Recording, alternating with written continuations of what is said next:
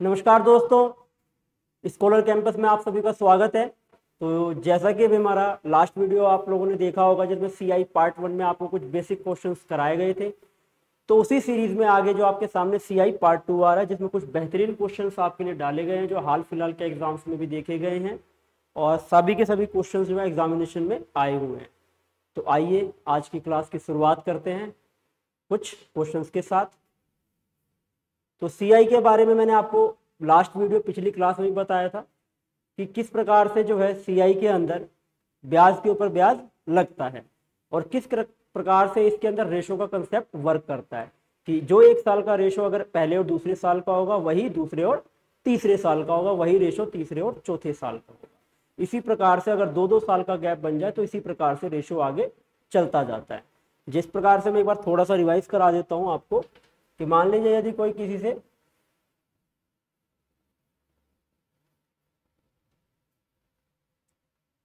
एक हज़ार रुपये अगर लेता है और ब्याज का दर अगर दस परसेंट है तो पहले साल के अंदर वो कितना हो जाएगा?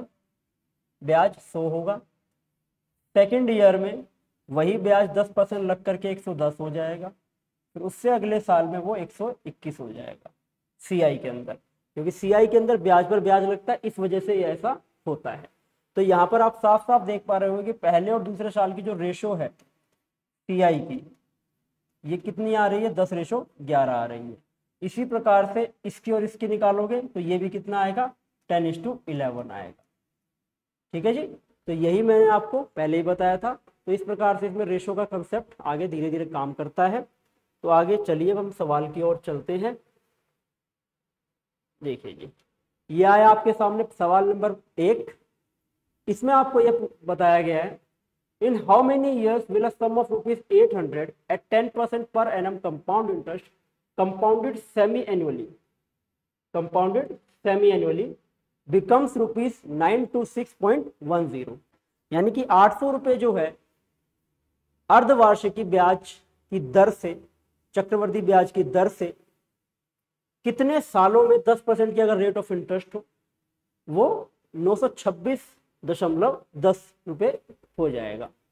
तो यहाँ पे अगर याद हो, पिछली क्लास में आपको बताया गया था कि अगर रेट दस परसेंट है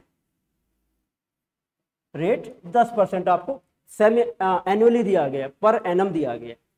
तो यहाँ पर अगर हाफ़ ईयरली ये होगा तो ब्याज की दर कितनी हो जाएगी? फाइव क्योंकि छः छः महीने पर ब्याज लिया जाएगा।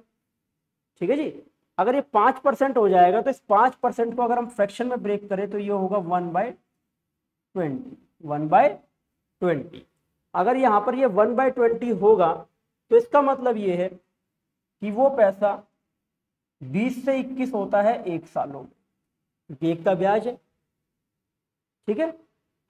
अगर देखा जाए यहाँ पर तो हमें यहाँ पर दिया गया आठ सौ। और इधर दिया गया नौ सौ छब्बीस दशमलव दस। अगर मैं इसकी रेशो अगर निकालू, साथ में अलग से तो 800 और नौ सौ छब्बीस दशमलव दस। इसकी रेशो कितनी आएगी? देखो, यहाँ पॉइंट से हटेगा तो दो ज़ीरो यहाँ लग जाएगा। तो दो ज़ीरो यहाँ लगे इसको कट जाएगा यहाँ पे। तो ये आएगा eight thousand ratio nine two six one nine two six one ठीक है जी? तो यहाँ से हमें पता चल गया कि इसकी रेशो जो ये देख, अगर आप देख रहे हो तो ये 20 की क्यूब होता है और ये 21 की क्यूब होता है। ठीक है जी? यानी कि एक साल के अंदर ये 20 से 21 हुआ है और अब हमें इसको क्यूब पे लेके जाना है। अगर मुझे क्यूब पर इसको लेके जाना होगा तो मुझे इसकी क्यूब करनी पड़ेगी। यानी 20 की क्यूब और 21 की क्यूब ठीक है? अब इस क्यूब का मतलब ये हो गया कि तीन इसमें लैप लग रहे हैं, कोलैप हो रहा है यहाँ पर। तीन बार तीन बार आ रहा है। अब तीन बार जो ब्याज आ रहा है, वो हर छः छः महीने पर आ रहा है। साल में नहीं आ रहा है, बल्कि छः छः महीने पर आ रहा है। सिक्स मंथ पे, फिर अगले सिक्स मंथ पे, फिर उससे अगले सिक्स मंथ पे। तो कुल मिला के एटीन मंथ हो गए, यानी इसका मतलब आंसर आ गया डेढ़ साल। आंसर आ गया आपका डेढ़ साल।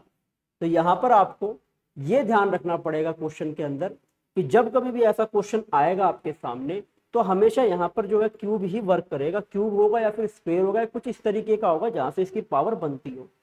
ठीक है? क्योंकि कंपाउंड इंटरेस्ट में हमेशा ही ऐसा होता है। ठीक है अब आते हैं अपने अगले सवाल की ओर। हमारा अगला सवाल। क्वेश्चन नंबर टू बहुत ही अच्छा क्वेश्चन है। यहाँ पर यह बोला गया है, हमें कंपाउंड इंटरेस्ट फाइंड करना है बारह हज़ार रुपए पर।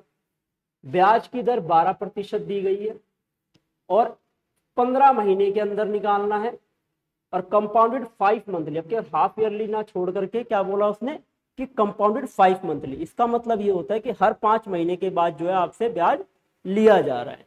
तो पंद्रह महीने तक अगर अगर उसके अंदर पंद्रह महीने के अंदर ब्याज लेना है इंटरेस्ट उसको क्रिएट करना है तो इसका मतलब ये है कि हर पाँचवें महीने के बाद, यानी फिफ्थ मंथ और टेंथ मंथ और फिफ्टींथ मंथ तीन बार वो ब्याज लेगा। तीन बार वो इंटरेस्ट लेगा। अगर वो तीन बार इंटरेस्ट लेगा तो अगर एक साल का ब्याज, हमें पता है कि पूरे एक साल में कितने का ब्याज लेता है? बारह परसेंट का लेता है। अगर पूरे एक साल का ब्याज बारह परसेंट का होगा तो हमारा बारह महीने का भी बारह परसेंट, यानी कि एक महीने का कितना हो जाएगा? एक मंथ का हो जाएगा हमारा एक परसेंट। अगर एक मंथ का एक परसेंट है तो पाँच मंथ का कितना हो जाएगा जी? पाँच मंथ का हो जाएगा पाँच परसेंट। ठीक है? ये पाँच परसेंट की ब्याज की दर होगी अगर वो पाँच पाँच महीने के हिसाब से ब्याज लेगा तो। ठीक है? अगर ये पाँच परसेंट की ब्याज की दर होगी तो पाँच परसेंट की ब्याज की दर अब हमें तीन बार लेना है तो यानी कि पाँच परसेंट का मतलब हो गया एक बटे में बीस। एक बटे में बीस, वन बाय ट्वेंटी। इस वन बाय ट्वेंटी को आप तीन बार उसने ब्याज लेना तो पहली बार में कितना हो जाएगा? पहली बार रेशो बनेगी बीस और इक्कीस की। और दूसरी बार में जब इसकी हमें तीन बार करना है तो बीस की क्यूब और हमारे पास यहाँ पे आ जाएगा इक्कीस की क्यूब। अभी अभी हमने पढ़ा, बताया मैंने कि बीस की क्यूब होती है आठ हज़ार और इक्कीस की क्यूब होती है नाइन टू सिक्स वन। तो ये रेशो होगी उसके बीच की तीन साल के बाद अगर कंपाउंडेड फाइव मंथली होगा लेकिन ये आठ हज़ार ना दे करके कितना दे रखा है? बारह हज़ार दे रखा है। यानी कि ये जो आठ हज़ार की वैल्यू है, ये किसके इक्विवेलेंट है? बारह हज़ार के। नाइन टू सिक्स वन यहाँ पे हो जाता है वो पैसा। हमें पूछा क्या सीआई के बारे में? तो यहाँ पे अगर सीआई की बात करें तो सीआई कितना मिल रहा है उसको? इसके बीच का डिफरेंस कितना है? बारह का। ये उसको मिल रहा है। ठीक है जी? रेशो के हिसाब से। लेकिन ये आठ ना होकर के बारह हज़ार है। तो यानी कि अगर यहाँ से रेशो बनाई जाए तो तीन ज़ीरो से तीन ज़ीरो कैंसिल कर सकते हैं हम। और यहाँ से रेशो बनेगी ट्वेल्व बाय एट की, जिसको हम लिख सकते हैं three by three by two लिख सकते हैं। तो यहाँ पे बारह सौ इकसठ रेशो में आ रहा है। तो बारह सौ इकसठ को हम मल्टीप्लाई कर देंगे थ्री बाय टू से थ्री बाय टू से। तो जैसे ही हम इसको मल्टीप्लाई करेंगे तो यहाँ पे आएगा तीन, आठ, सात और तीन।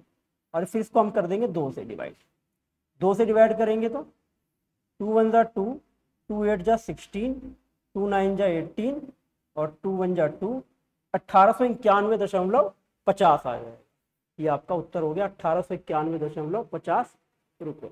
तो यहाँ पे इस सवाल में हमने क्या सीखा? हमने ये बात सीखी ध्यान से कि पंद्रह मंथ का ब्याज निकालना है और हमें कंपाउंड फाइव मंथली दिया। अगर कंपाउंडेड फाइव मंथली दिया गया तो आपको हर महीने का पहले तो इंटरेस्ट निकालना पड़ेगा। उसके बाद पाँच महीने का इंटरेस्ट कितना बनेगा, ये आपको फाइंड करना पड़ेगा रेट ऑफ़ इंटरेस्ट इसके बिना इस क्वेश्चन को आप सॉल्व नहीं कर सकते। ठीक है जी? तो ये बहुत ही अच्छा क्वेश्चन है। ठीक है? अब आता है हमारे पास सवाल नंबर तीसरा।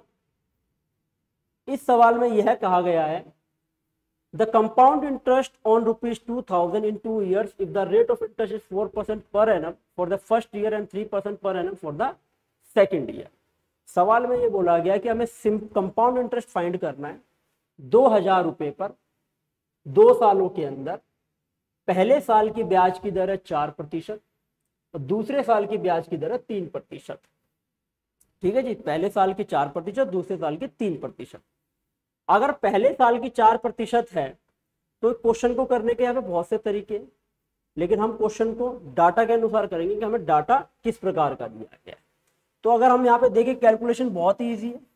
अगर दो हज़ार रुपये पर पहले साल में चार प्रतिशत का ब्याज लें तो कितना मिलेगा? अस्सी रुपये मिलेगा। और वो प्रिंसिपल कितना हो जाएगा अमाउंट उसका? दो हज़ार अस्सी हो जाएगा पहले साल के बाद। इस पहले साल के बाद फिर दोबारा अगले साल में कितने का ब्याज लगता है? तीन प्रतिशत का ब्याज लगता है। अब 2080 का तीन प्रतिशत निकालेंगे तो यहाँ पे 208 गुना तीन बचेगा, क्योंकि तीन बटे सौ आएगा जिससे ज़ीरो जी कट जाएगा। 208 गुना में तीन कितना हो जाएगा? आठ तीन चौबीस का चार, दो और तीन दूनी छः यानी बासठ पॉइंट चार। यह हो गया उसके बाद ब्याज। अब 2080 में बासठ पॉइंट चार जोड़ेंगे तो कितना आ जाएगा? 2080 अस्सी और साठ, एक सौ चालीस। दो हज़ार एक सौ चालीस दशमलव चार। एक सौ बयालीस सॉरी एक सौ बयालीस दशमलव चार याद है। यानी कि जो दो हज़ार रुपये थे, ये दो सालों बाद इतना हो गया ये पैसा। अगर दो सालों बाद ये पैसा इतना हो गया तो इंटरेस्ट कितना मिला होगा उसको? एक सौ बयालीस रुपये और चालीस पैसे। तो हमारा आंसर आ गया एक सौ बयालीस दशमलव चालीस। ठीक है जी? तो सवाल हमें किस मेथड से करना ये डिपेंड करता है सवाल के डाटा पर। तो हमें एग्जामिनेशन में बैठने समय इस चीज़ का ध्यान रखना है कि हम क्वेश्चन को किस अप्रोच से लेकर के जाएँ कि जिससे हमारा क्वेश्चन कम से कम समय में हो जाए। तो ऐसा ज़रूरी नहीं है कि इस क्वेश्चन में भी बैठ करके पहले चार परसेंट की फ्रैक्शन ब्रेक करूँ और फिर तीन परसेंट की फ्रैक्शन ब्रेक करूँ। तीन परसेंट की फ्रैक्शन होगी, तीन बटे सौ सौ से एक सौ तीन होगा। तो वहाँ पे इतने लंबे मल्टीप्लीकेशन से ज़्यादा बेटर इस क्वेश्चन में ये था कि हम इस वाले मेथड को अप्रोच कर लेते क्योंकि डाटा इस प्रकार से दिया गया कि यहाँ पर इस क्वेश्चन को इस मेथड से करना ज़्यादा बेहतर रहेगा। तो एग्ज़ाम में क्वेश्चन इस चीज़ पर डिपेंड करता है कि आपको डाटा कैसा दिया गया है और आपको सवाल उसी अप्रोच से करना पड़ेगा जैसा आपको डाटा दिया गया है। ठीक है जी? तो इस चीज़ का ध्यान रखेंगे। अब हमारे सामने आता है सवाल नंबर चार। ठीक है? बहुत ही अच्छा सवाल है। इस सवाल के अंदर ये बोला गया है कंपाउंड इंटरेस्ट निकालना है सोलह हज़ार रुपये पर। नाइन मंथ का निकालना है। At twenty percent per annum बीस परसेंट की ब्याज की दर है।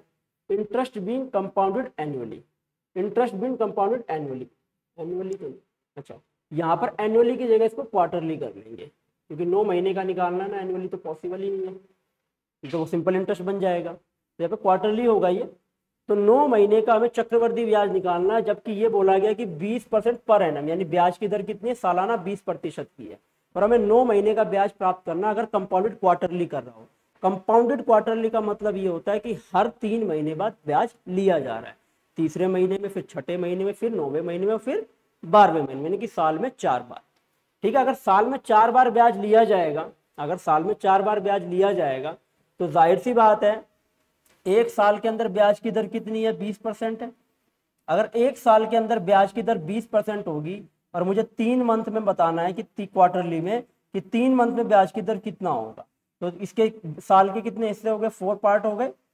तीन तीन हिसाब से। तो हम सीधे सीधे बीस परसेंट को किससे डिवाइड कर सकते हैं? चार से। तो यानी कि तीन मंथ में ब्याज की दर होगी पाँच प्रतिशत। पाँच परसेंट। कितना होगा? पाँच परसेंट। अब आपसे यही तो पूछा गया है कि भाई कितना इस पर इंटरेस्ट मिलेगा? तो पाँच परसेंट का मतलब ये होता है one by twenty, one by twenty. यानी कि एक साल के अंदर, एक क्वार्टर के अंदर सॉरी बीस से इक्कीस होगा वो। नाइन मंथ के अंदर तीन क्वार्टर बनेंगे। अगर तीन क्वार्टर बनेंगे तो सीधे सीधे रेशो निकालने के लिए हम क्यूब कर देंगे इसका। यानी बीस की क्यूब जो है कितना हो जाएगी? इक्कीस की क्यूब हो जाएगी। यानी कि आठ हज़ार की रेशो बन जाएगी नाइन टू सिक्स वन के साथ। अब हमसे पूछा गया इंटरेस्ट पूछा है तो यहाँ पे देखिए आपको इंटरेस्ट कितना मिल रहा है। एक हज़ार दो सौ इकसठ का। लेकिन ये आठ हज़ार ना होकर के वैल्यू कितनी है ये? सोलह हज़ार है। क्वेश्चन में हमें दी गई है। तो ये इसका दो गुना है। तो ब्याज भी कितना हो जाएगा? बारह सौ इकसठ गुना में दो। दो एक कम दो छः दुनी बारह का दो, एक ऊपर गया, दो दुनी चार और एक पाँच और दो एक कम दो। यानी पच्चीस सौ बाईस आपका आंसर आ गया। पच्चीस सौ बाईस आपका आंसर आ गया। ठीक है जी? तो ये हमारा सवाल नंबर चार था, जिसमें आपको क्वार्टरली के बारे में बताया गया। Quarterly semi annually compounded, five monthly, compounded, eight monthly, ये बड़े कॉमन है जो पेपर में आजकल आ रहे हैं। ठीक है? अब हम चलते हैं अपने सवाल नंबर पाँच की ओर। इसमें यह बोला गया है कि आठ हज़ार रुपये पर यदि पंद्रह परसेंट ब्याज की दर हो तो दो साल और चार महीने का ब्याज क्या होगा? यदि कंपाउंडेड एनुअली करना। कंपाउंडेड हमें एनुअली करना आपकी बात। कंपाउंडेड एनुअली करते हुए मुझे दो साल और चार महीने का ब्याज निकालना है कितने पर? आठ हज़ार रुपये ठीक है? तो ब्याज की दर पंद्रह परसेंट है? अगर ब्याज की दर पंद्रह परसेंट है तो पंद्रह परसेंट का मतलब होता है तीन बटे में बीस। तीन बटे में बीस होता है। और ये तीन बटे में बीस है तो इसका मतलब ये है कि पहले साल में वो पैसा कितना हुआ? बीस से तेईस हुआ। उससे अगले साल में भी, दूसरे साल में भी बीस से तेईस हुआ। जब तो स्क्वेयर होता है हमेशा, कि जब स्क्वेयर जब दूसरा करना होता है दो स्क्वेयर कर देते हैं, जब तीन गुना करना तो क्यूब कर देते हैं। लेकिन दो साल की तो हिसाब किताब बन गया। लेकिन इस फोर मंथ का क्या हिसाब किताब बनेगा? ये फोर मंथ का मैं क्या हिसाब किताब बनाया जाए? तो अगर पूरे साल के अंदर पंद्रह परसेंट का ब्याज ले रहा पूरे बारह महीने का अगर पूरे बारह महीने का पंद्रह परसेंट का ब्याज ले रहा है तो चार महीने का कितना लेगा? पंद्रह को तीन से डिवाइड कर देंगे, यानी कि पाँच परसेंट। सीधा हिसाब। तो और पाँच परसेंट को हम क्या कह सकते हैं? एक बटा बीस। यानी कि चार महीने के अंदर वो कितना हुआ है? बीस से इक्कीस हुआ है। बीस से इक्कीस हुआ है। अब यहाँ पर हमें पता चल गया, ये पहले साल, ये दूसरा साल और चार महीने का। तो यहाँ से गुना करेंगे तो यहाँ से आएगा आठ हज़ार। ठीक है जी? यहाँ पे तेईस को तेईस से गुना करेंगे तो कितना आएगा? पाँच सौ उनतीस आएगा। और इस पाँच सौ उनतीस को हमें गुना करना है किससे? इक्कीस से। पाँच सौ उनतीस को इक्कीस से गुना करना हमें। ठीक है? तो इक्कीस से गुना करने की ज़्यादा बेटर है कि बीस और एक से गुना कर दिया जाए यहाँ पर। तो पाँच सौ उनतीस को अगर बीस से गुना करेंगे तो नौ दूनी अट्ठारह, एक ऊपर गया, दो दूनी चार और एक पाँच, और पाँच दूनी दस, ये आ गया। और एक ज़ीरो आगे लग जाएगा और पाँच सौ उनतीस को एक से करेंगे तो पाँच सौ उनतीस यहाँ पे लग जाएगा। उसको जोड़ देंगे। नौ, आठ और दस का ज़ीरो, पाँच पर दस, ग्यारह, एक एक एक। तो ये आ जाएगा एक सौ ग्यारह और ज़ीरो नौ। यानी कि वो पैसा जो है, आठ हज़ार से इतना हो जाएगा। अब पैसा वास्तव में कितना था? पैसा तो वास्तव में इतना ही है, आठ हज़ार ही है। यानी कि आठ हज़ार रुपये पे जो अमाउंट इतना हो गया तो इंटरेस्ट कितना होगा? इसमें से इसको माइनस कर देंगे।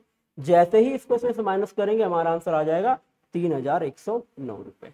तीन हज़ार एक सौ नौ रुपये तो यहाँ पे हमने ये चीज़ सीखी कि यदि हमारे पास दो साल चार महीने आ जाए, चाहे दो साल आठ महीने आ जाए, चाहे दो साल छः महीने आ जाए, चाहे दो साल दस महीने आ जाए, आपको ध्यान इस चीज़ का रखना है कि हमें जितने टाइम का इंटरेस्ट बोला गया है, हमें उसी हिसाब से रेट ऑफ़ इंटरेस्ट को सेट करना पड़ेगा क्वेश्चन को करने के लिए।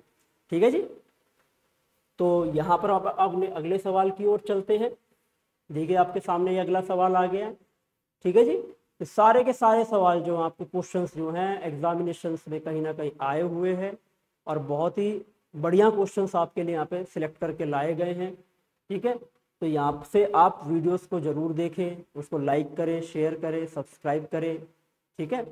ताकि ज़्यादा से ज़्यादा बच्चों को इसका फ़ायदा मिल सके। ठीक है?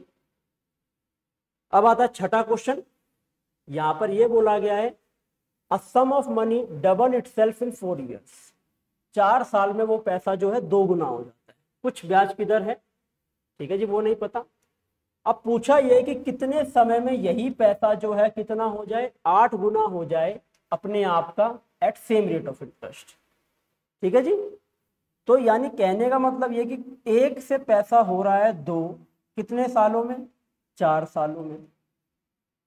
एक से पैसा हुआ दो, कितने सालों में? चार सालों में। अब हमें उसी एक को कितना करना है? आठ करना है। उसी एक को कितना करना है? आठ करना है। अब ये कितने सालों में होगा? ये पता करना है। तो हमें पता होना चाहिए कि आठ जो है कितना होता है? दो का क्यूब होता है। आठ कितना होता है? दो का क्यूब होता है। तो यानी कि यहाँ से यहाँ तक पहुँचने में हमने क्यूब करा उसको। यानी कि तीन लैप लगे होंगे चार साल चार साल और चार साल।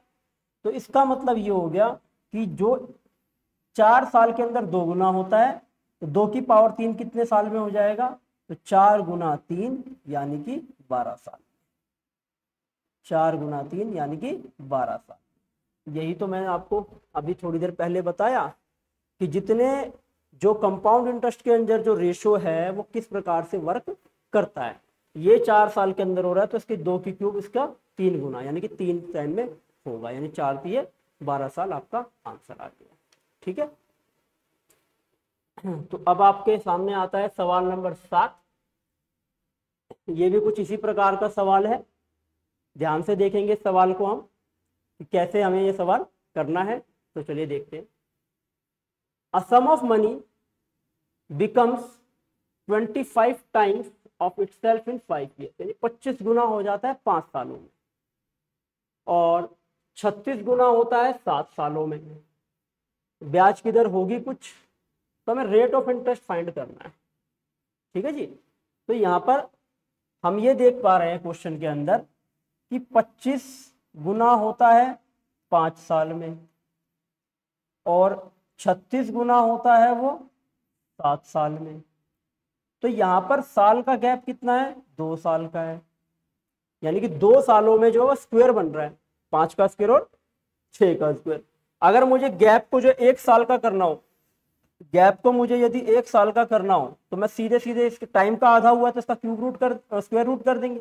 इसका स्क्वायर रूट आएगा पाँच और इसका स्क्वायर रूट आएगा छ तो यानी कि अगर दो सालों के अंदर वो पैसा पच्चीस से छत्तीस हुआ है तो एक साल के अंदर वो पैसा कितना होगा? पाँच से छ होगा। अगर हमें ऊपर जाना होता है तो स्क्वायर करते, अब क्या हमें वापिस आना तो हमने स्क्वायर रूट कर दिया। यानी पाँच से छ हो गया है वो। यानी कि एक का इंटरेस्ट मिल रहा है कितने पे? पाँच पे। और गुना में सो, यही तो वो पूछ रहा है। तो आंसर कितना आ जाएगा? बीस परसेंट आंसर कितना आ जाएगा आपका? बीस परसेंट बहुत बढ़िया क्वेश्चन है ये ठीक है? कल को यहाँ पर ऐसा भी हो सकता है कि तीन साल का गैप दे दिया जाए। अगर तीन साल का गैप दिया जाएगा तो यहाँ पे आपको क्यूब रूट करना पड़ेगा सवाल के अंदर।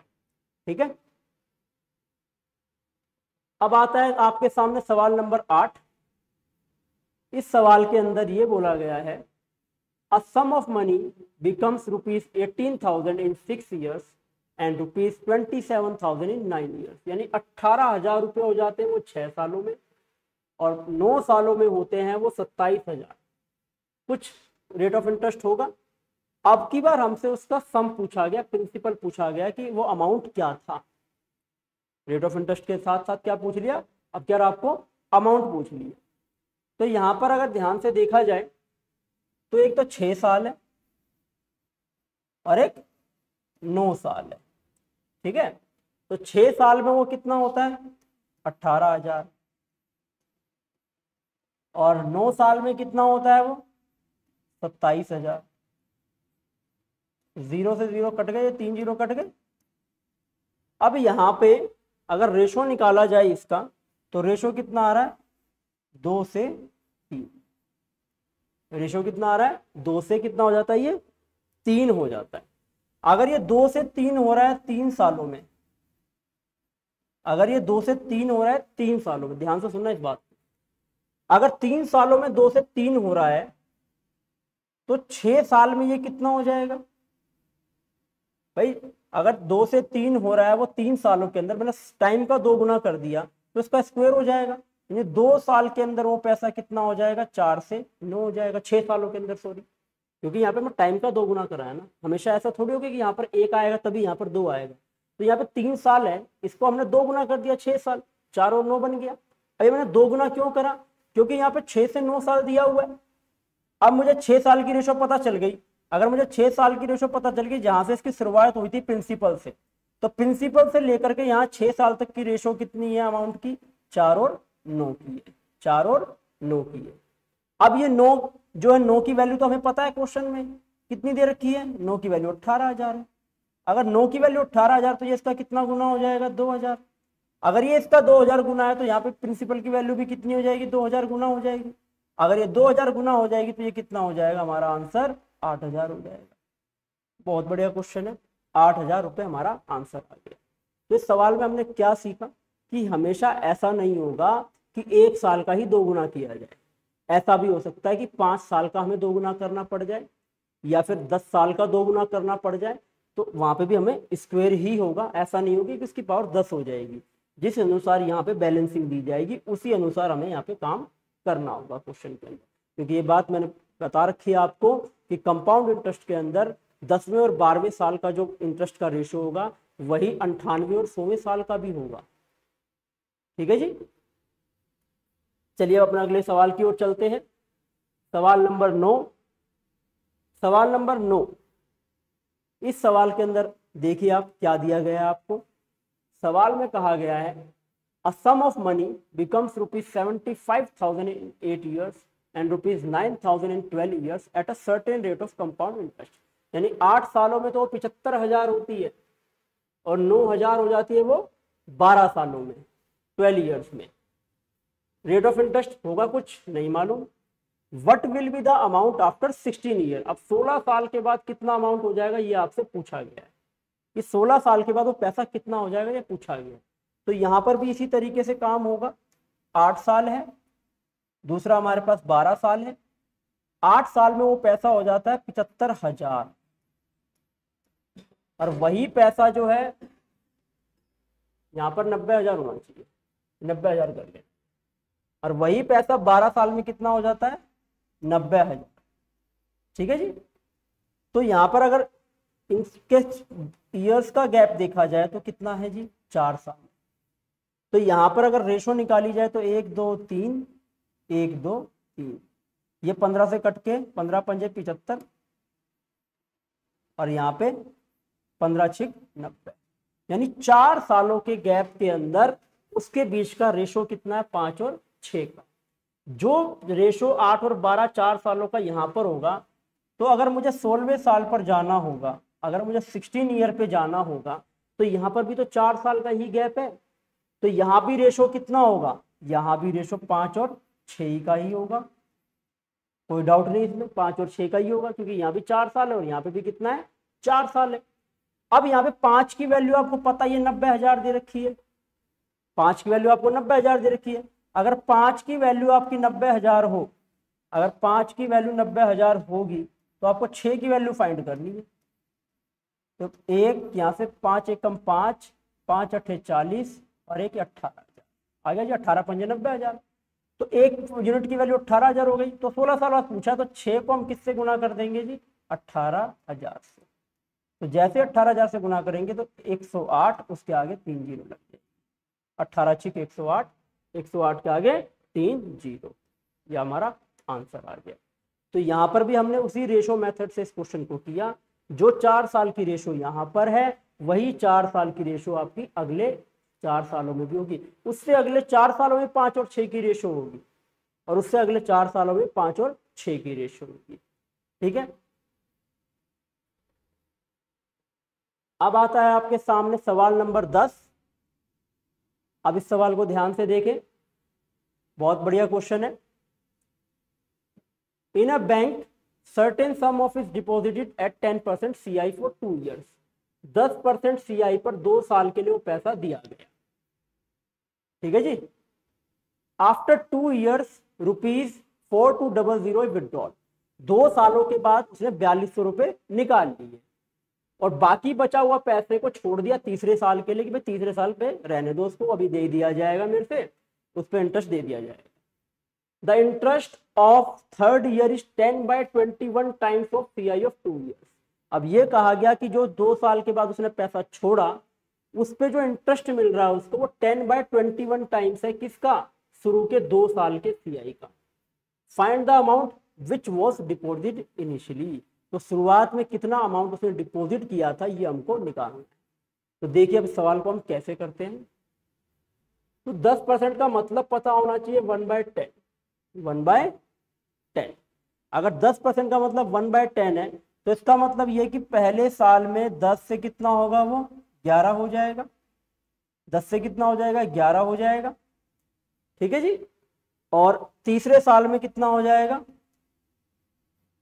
यहाँ पर अगर इसको 100 कर दूँ मैं, और इसको 110 कर दूँ तो ये कितना हो जाएगा? 121 हो जाएगा। क्योंकि अगर 10 परसेंट की ब्याज की दर है तो हमेशा यही बनेगा, पहले साल का सी आई सौ, दूसरे का 110 और तीसरे का 121 ठीक है जी? अगर 100 पहले साल का सी आई है तो हमारा प्रिंसिपल कितना होगा जी? 10 परसेंट के हिसाब से अगर देखे जाए तो कितना आएगा? एक हज़ार आएगा। क्योंकि इस एक हज़ार का दस परसेंट ही तो सौ रुपए का ब्याज आ रहा है। अब यहाँ पे सवाल में ये कहा गया है कि जो तीसरे साल का ब्याज है, वो पहले दो सालों का ग्यारह बटे इक्कीस है। तो पहले दो सालों में कुल मिला के ब्याज कितना मिल रहा है? सौ और एक सौ दस, यानी कि दो सौ दस मिल रहा है। इस दो सौ दस का ग्यारह बटा इक्कीस है, यानी कि ये कट जाएगा। ठीक है? ये कट के कितना आ जाएगा? सॉरी ग्यारह बटे इक्कीस नहीं है, दस बटे इक्कीस है। ये गलत लिख दिया मैंने। दस गुना दस कितना हो गया? सौ। यानी कि अगर ऐसा नहीं होता तो उसे ब्याज मिलता एक सौ इक्कीस। लेकिन बयालीस सौ रुपये निकालने की वजह से उसको ब्याज एक सौ इक्कीस ना मिल करके एक ग्यारह बटे इक्कीस के हिसाब से सौ मिल रहा है। कितना मिल रहा है उसे? सौ मिल रहा है। तो यहाँ पर जो ये अंतर आया है, इक्कीस का, ये किस वजह से आया है? ये जो बयालीस सौ रुपये उसने पहले निकाल लिए, उसी वजह से आया। है ये अंतर किस चीज़ का है? कंपाउंड इंटरेस्ट का है। तो यहाँ पर 21 की वैल्यू किसके बराबर हो जाएगी? जो बयालीस सौ का ब्याज होगा 10 परसेंट का, उसके हिसाब से हो जाएगी। अब बयालीस सौ का 10 परसेंट कितना होता है? 420 यानी 21 की वैल्यू कितनी हो गई जी? 420 हो गई, यानी एक यूनिट की वैल्यू हो गई हमारे पास 20 अगर एक यूनिट की वैल्यू हमारे पास 20 है तो प्रिंसिपल, हमने शुरुआत में क्या लेट किया था? हज़ार। तो हमारा आंसर कितना हो जाएगा जी? बीस हज़ार। आंसर कितना हो गया जाएगी? बीस हज़ार रुपये ठीक है जी? बहुत ही बढ़िया क्वेश्चन है। ठीक है? बहुत लॉजिकल क्वेश्चन है। तो यहाँ पर हमने क्वेश्चन को कैसे शुरुआत करी? हमने यहाँ पे इसका पहले रेशो चेक करा। रेट ऑफ़ इंटरेस्ट का कितना है, कितना? उसके बाद हमने प्रिंसिपल को हज़ार मान लिया। उसके बाद हमने ये देखा कि ये पहले और दूसरे साल का इंटरेस्ट कितना है जी? दस बटे ग्यारह, इक्कीस है। तो इस तरीके से हमने सवाल को कैरी आउट किया। ठीक है जी? अब आते हैं हम अपने अगले सवाल की ओर। सवाल नंबर ग्यारह। इस सवाल के अंदर ये बोला गया है the compound interest of a sum in ten years is rupees अट्ठारह सो and compound interest of same sum in twenty years is becomes rupees अड़सठ सो. Find the compound interest of same sum of money in fifteen years अट्ठारह सौ रुपये वो पैसा दस साल में होता है, बीस साल में वही पैसा छः हज़ार आठ सौ हो जाता है। तो हमें बताना ये कि पंद्रह साल में वो पैसा कितना होगा। तो पहली बात तो ये कि दस साल के अंदर वो पैसा कितना हो जाता है जी? अट्ठारह सौ। ठीक है? उससे अगले दस साल में, उससे अगले दस साल में उसका पैसा कितना हो गया? अड़सठ सौ हो गया। अड़सठ सौ होने का मतलब ये है पाँच हज़ार रुपये क्योंकि अगर अड़सठ सौ रुपये हो रहा है तो अगले दस साल में, क्योंकि दस साल में तो अठारह सौ यही हो गया था तो पूरे बीस सालों में अड़सठ सौ हुआ है तो यहाँ पाँच हज़ार आएगा। ठीक है? यानी कि अगर दस साल की यहाँ पर रेशो बनाई जाए, कि 10 साल के अंदर ब्याज की रेशो क्या है जी? 1800 और 5000 यानी कि दो ज़ीरो से दो ज़ीरो, इधर कैंसिल हो रही इधर कैंसिल हो रही है, यानी कि नौ रेशो 25 कट के रेशो कितना आएगा? नौ और 25 का। इधर से कट जाएगा, दो से काटेंगे, नौ और 25 का आएगा। अगर 10 सालों की रेशो नौ और 25 की है तो पाँच सालों की रेशो कितनी होगी? हमने टाइम का आधा कर दिया। अगर टाइम का आधा करेंगे तो उसका स्क्वेयर रूट करना पड़ेगा, यानी कि तीन और पाँच की। तीन और पाँच की। ठीक है जी?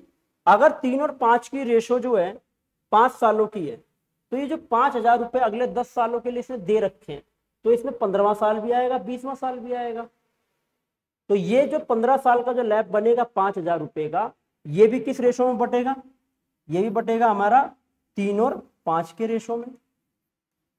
कहीं ऐसा ना करें कि सीधे पाँच हज़ार का आधा करा, ढाई हज़ार और सीधे आंसर निकाल दिया कुछ भी। क्योंकि सिंपल इंटरेस्ट में वैसा हो सकता है, इसमें ऐसा नहीं हो सकता। क्योंकि सिंपल इंटरेस्ट में क्या होता है, कभी ब्याज पे ब्याज नहीं लगता, इसमें तो लगेगा। तो यहाँ पर जो पाँच साल की जो रेशो आएगी ना, वो आएगी तीन और पाँच की। क्योंकि हमें पता है कि अगर दस से पंद्रह जाएँगे तो भी वही रेशो होगी, और पंद्रह से बीस जाएँगे तो भी वही रेशो होगी उससे अगले भी वही रेशो होगी। समझ आ रहा है? तो यहाँ पर हमें ये पता चल गया कि यहाँ पे अगर बीच में पंद्रह साल है तो इसकी तीन और उसके पाँच। जब तो रेशो बनेगी पाँच पाँच साल की। अब इसको हम पाँच हज़ार रुपए को तीन रेशो पाँच में डिवाइड कर देंगे। अगर तीन रेशो पाँच में डिवाइड करें तो आठ की वैल्यू कितनी है यहाँ पर? पाँच हज़ार है। अगर आठ की वैल्यू पाँच हज़ार है तो एक की वैल्यू कितनी होगी? आठ की अड़तालीस, दो और ज़ीरो, आठ दूनी सोलह और पाँच। एक की वैल्यू छह सौ पच्चीस होगी। अगर एक की वैल्यू छह सौ पच्चीस होगी तो पहले वाले पाँच सालों में कितना मिलेगा उसे? छह सौ पच्चीस गुना कर देंगे। और छह सौ पच्चीस को तीन से गुना करेंगे तो छह सौ तीन अट्ठारह सौ पच्चीस, या पिछहत्तर यानी कि अट्ठारह सौ पिछहत्तर रुपये यानी कि दस साल का तो पता है, अठारह सौ रुपये। उससे अगले साल, दस, पाँच साल के कितने हो गए? अट्ठारह सौ पिछहत्तर रुपये। उससे अगले पाँच सालों के कितने हो जाएँगे? जब इसको उससे गुना कर देंगे। लेकिन उसकी हमें ज़रूरत ही नहीं है। हमें निकालना है केवल पंद्रह सालों का। तो इस अट्ठारह सौ को और इस अट्ठारह सौ पिछहत्तर को हम जोड़ देंगे तो हमारा आंसर आ जाएगा छत्तीस सौ पिछहत्तर रुपये। छत्तीस सौ पचहत्तर रुपये ये आंसर आ गया डी ऑप्शन। ठीक है जी? तो इस सवाल के अंदर भी हमने उसी कंसेप्ट का यूज़ किया है रेशो मेथड का। और रेशो में हमने किस प्रकार से देखो, दस सालों का नौ और पच्चीस बन रहा था, पाँच सालों का तीन और पाँच बनेगा तो दस से पंद्रह का तीन हो गया और पंद्रह से बीस का पुस्सा पाँच हो गया। जब तो रेशो बन पाएगा तीन और पाँच का, पाँच पाँच सालों का, ठीक है? अब आता है बारहवा सवाल। इस सवाल के अंदर यह कहा गया है the compound interest on a certain sum of money in six years rupees four thousand छह सालों में कितना मिलता है उसे? चार हज़ार रुपये मिलता है। And compound interest of same sum in twelve years becomes rupees nine six double zero then find the sum यानी छह साल में तो वो पैसा चार हज़ार होता है। छह साल में कितना हो रहा है वो? चार हज़ार हो रहा है। छह साल में पैसा हुआ चार हज़ार। उसके बाद बारह साल में वो पैसा हो गया नौ हज़ार छ सौ। बारह साल में कितना हो गया वो? नौ हज़ार छ सौ। अगर नौ हज़ार छह सौ यहाँ पर हो रहा है तो चार हज़ार रुपये यहाँ पे हो गए। तो नौ हज़ार छह सौ में से चार हज़ार जाएगा तो कितना बचेगा? नौ हज़ार छह सौ चार हज़ार जाएगा तो छप्पन सौ बचेगा। ठीक है जी? ये छप्पन सौ कैसे आया? क्योंकि पूरे बारह साल का शुरू से लेके लास्ट तक बारह साल का कितना है? नौ हज़ार छह सौ है। जब शुरू के छह साल का चार हज़ार होगा तो अगले छह साल का कितना? छप्पन सौ ही तो होगा। अब यहाँ पर अंतर कितना है? छह सालों का। अगर रेशो काट के निकाली जाए तो कितनी आएगी? पाँच रेशो सात। यानी छह सालों के अंदर पाँच और सात की रेशो उनकी इंटरेस्ट में। ठीक है? हमें सम निकालना है। अगर मुझे सम निकालना है तो छह साल का गैप यहाँ पे तो छह साल अगर मैं पीछे चला जाऊँ, यहाँ पे मैं प्रिंसिपल पे ही आ जाऊँगा, छह साल पीछे। तो अगर अगले छह सालों का पाँच और सात का है तो यहाँ से लेकर के और यहाँ तक का भी कितना होगा? पाँच और सात का ही होगा। पाँच और सात का ही होगा। अब यहाँ पर यदि ये पाँच और सात का है, क्योंकि ये आपको इंटरेस्ट दिया गया है, ये आपको इंटरेस्ट दिया गया वैल्यू नहीं दी गई है। तो इसका मतलब ये है कि अगर यहाँ से यहाँ तक का ब्याज देखा जाए तो कितना है? दो है। इस दो की वैल्यू किसके बराबर है? चार हज़ार के, यानी कि इसका कितना है जी? दो हज़ार गुना है। अगर ये इसका दो हज़ार गुना है तो यहाँ पे पाँच की वैल्यू भी कितनी हो जाएगी जी? दो हज़ार गुना हो जाएगी। अगर ये दो हज़ार गुना होगी तो हमारा आंसर कितना आ जाएगा? दस हज़ार। तो हमारा आंसर कितना आ जाएगा? दस हज़ार रुपये आ जाएगा। ठीक है? यानी कि छः से बारह की रेशो पाँच सात है तो शुरुआत के यहाँ पे भी रेशो पाँच और सात ही होगा। यहाँ पर इंटरेस्ट कितना मिल रहा है उसको? रेशो के हिसाब से दो का मिल रहा है। ये दो की वैल्यू चार हज़ार के बराबर है, क्योंकि यहाँ से यहाँ तक का इंटरेस्ट तो दे ही रखा आपको चार हज़ार। तो दो यूनिट अगर चार हज़ार के बराबर है तो एक यूनिट की वैल्यू दो हज़ार हो गई। और पाँच यूनिट की वैल्यू आपकी दस हज़ार गई। ठीक है जी? तो इस तरीके से आपका आंसर इसमें दस हज़ार आ गया। अब हम आते हैं अपने अगले सवाल की ओर। क्वेश्चन नंबर थर्टीन ये भी कुछ इसी प्रकार का क्वेश्चन है। ठीक है? तो इस क्वेश्चन को भी आप अपनी तरफ़ से कर सकते हो, खुद ही कर सकते हो। ये सेकेंड ईयर का दे रखा है फोर्थ ईयर का आपको दे रखा है। इसी प्रकार से रेशो बनाइए और रेशो बना करके इस क्वेश्चन को आप आराम से कर सकते हो, ठीक है? तो इसको अपने आप ही कर लीजिए सेल्फ डू अब आते हैं हम क्वेश्चन नंबर फोर्टीन की ओर। इस क्वेश्चन नंबर फोर्टीन में भी कुछ इस तरीके का ही है, लेकिन क्वेश्चन की थोड़ी सी लैंग्वेज चेंज करी गई है। लैंग्वेज किस तरीके से चेंज करी गई है? टी पीरियड है, दस हज़ार रुपए जो है आपके, सत्रह सौ अट्ठाईस और डबल ज़ीरो हो जाता है compounded annually in T by three year तो चार हज़ार रुपए कितने हो जाएँगे, ये पूछ रहा है। यानी कि दस हज़ार रुपए in T T by three years ठीक है? यानी कि दस हज़ार और सत्रह सौ अट्ठाईस और इसके साथ दो ज़ीरो। ये लगा हुआ है। तो यहाँ पर एक ज़ीरो से एक ज़ीरो कैंसिल हो जाएगा। एक ज़ीरो से एक ज़ीरो कैंसिल हो जाएगा यहाँ पर। अब यहाँ पर हमारे पास कितना आ जाएगा? ये आ जाएगा दस और ये आ जाएगा बारह। मैंने क्यूब रूट कर दिया डायरेक्ट इसका क्योंकि ये टी ईयर्स में है। और मुझे निकालना किसमें टी बाई थ्री ईयर में। अगर मैं टाइम का टाइम को तीन से डिवाइड कर रहा हूँ, अगर टाइम को तीन से डिवाइड कर रहा हूँ तो मुझे यहाँ पे रेशियो निकालने के लिए क्यूब रूट करना पड़ेगा। यानी दस से बारह हुआ वो पैसा। लेकिन वो पैसा दस ना होकर के कितना बोल रहा है? वो पैसा कितना है जी? चार हज़ार है। अगर वो पैसा चार हज़ार है तो ये इसका कितना गुना हो जाएगा? ये इसका हो गया चार सौ गुना। अब हमसे पूछा गया, वो पैसा कितना हो जाएगा? यानी अमाउंट ही पूछा है तो बारह को भी चार सौ से गुना कर देंगे। तो इस प्रकार से हमारा आंसर आ जाएगा चार हज़ार आठ सौ, यानी कि अड़तालीस सौ रुपये। ये आ गया डी ऑप्शन। ठीक है, वही कंसेप्ट रेशो वाला। अब हमारे सामने आता है क्वेश्चन नंबर फिफ्टीन ठीक है, बहुत ही अच्छा सवाल है। ठीक है, बड़ा लॉजिकल क्वेश्चन है, ध्यान से सुनेंगे इसमें एक एक शब्द। A man invested rupees eight thousand in a scheme for three years तीन साल के लिए वो पैसा देता है। कंपाउंड इंटरेस्ट पे देता है। The rate of interest for the first two years is X percent पहले दो सालों के लिए रेट ऑफ़ इंटरेस्ट कितना है जी? एक्स परसेंट है। And that of the last one year is twenty one twenty percent और आखिर के तीसरे साल का कितना है? बीस परसेंट है। The interest received by man after three years is rupees four six nine six यदि तीन सालों के बाद उसको इंटरेस्ट चार हज़ार छह सौ छियानवे रुपए मिले तो बताना है rate of interest for the first year यानी कि एक्स की वैल्यू फाइंड करनी है बहुत बढ़िया क्वेश्चन है तो देखिए अब इस सवाल की शुरुआत कैसे करें और कैसे इस सवाल को हम अंजाम तक पहुंचाएँ? तो यहाँ पर जो है, आठ हज़ार रुपये जो है सीधा सीधा बारह हज़ार छह सौ छियानवे हो जाते हैं। कितने सालों में? जी, तीन सालों में। दो साल शुरू के, उसके बाद लास्ट के लास्ट का एक साल मिलके बारह हज़ार, क्योंकि आठ हज़ार और चार सौ, ये इंटरेस्ट है टोटल और ये आपका प्रिंसिपल आठ हज़ार। दोनों को जोड़ दिया मैंने। यानी कि अगर यहाँ पे देखा जाए तो इस वाले ईयर का, इससे एक पहले साल में, एक साल का, एक साल का रेट ऑफ़ इंटरेस्ट दे रखा आपको बीस परसेंट। बीस परसेंट का मतलब हो गया एक बटा पाँच। यानी इस एक साल के अंदर ये पैसा लास्ट वाले में कितना हुआ होगा? पाँच से छह हुआ होगा। कितना होगा? पाँच से छह हुआ होगा। अब ये छह ना होकर के है कितना? छह दूनी बारह छह कम छह छह कम छह और छह चिक छत्तीस। तो यहाँ से ये दूसरे, इस साल की अमाउंट कितनी हो जाएगी? दो हज़ार एक सौ सोलह गुना कर देंगे। तो दो हज़ार एक सौ सोलह को हमें पाँच से गुना करना है। तो दो से ऊपर नीचे मल्टीप्लाई कर लो, कोई दिक्कत नहीं है।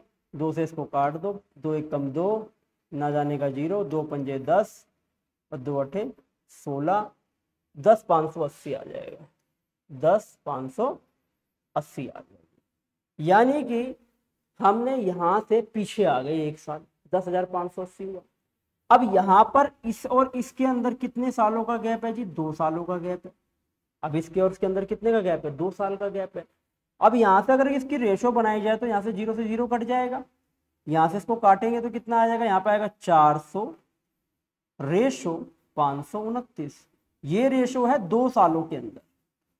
अगर दो साल की रेशो ये है तो एक साल की रेशो क्या हो जाएगी इसका स्क्वेयर रूट यानी कि बीस और तेईस, पाँच सौ उनतीस का स्क्वेयर रूट तेईस होता है।